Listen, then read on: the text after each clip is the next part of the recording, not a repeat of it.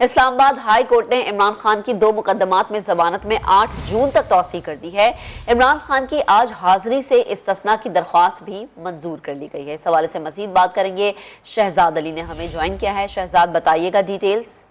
जी महक बिल्कुल इमरान खान की जानब से जो इस्लामाबाद हाई कोर्ट से जमानत के लिए रजू किया गया था, ये बेसिकली केस था जो मोहसन शाहनवाज रांझा की जानब से इमरान खान पर जो है वो के हवाले से दर्ज कराया गया था। इस अहम मामले में गुजशत समात पर जब इमरान खान की इस्लामाबाद हाईकोर्ट से गिरफ्तारी हुई थी तो उसके बाद सुप्रीम कोर्ट ऑफ़ पाकिस्तान ने इस तमाम तार मामले को जो है वो रिवर्स करने का हुक्म दिया था। इसके साथ साथ इस्लामाबाद हाई कोर्ट में गिरफ्तारी के दौरान जो नाखुशगवार वाक्य पेश आया था उस पर जो है वो इस्लामाबाद हाईकोर्ट के chief justice justice Aamir Farooq की जानब से आई जी इस्लामाबाद और सेक्रेटरी दाखिला को जो है वो तोहिन अदालत के नोटिस भी जारी किए गए थे।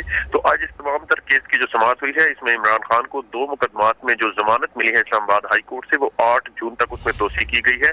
साथ ही साथ इमरान खान के वकला बैरिस्टर गौर की जानब से आज उनकी हाजिरी की जो इस्तना की दरख्वास्त दायर की गई थी उसमें भी जो है वो हाजिरी से इस्तना जो है वो सबक वजी इमरान खान को दे दिया गया है। अदालत ने इस केस की मजीद समात जो है वो मई के आखिरी हफ़्ते तक मुलतवी कर दी है।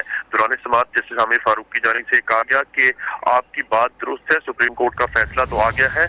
एडवोकेट जनरल इस्लामाबाद जंगीर जदून की जानब से सेक्रेटरी दाखिला और आई जी पंजाब के जो शोकाज वो वापस लेने की भी इस्तः की गई है बेहद शुक्रिया आपका।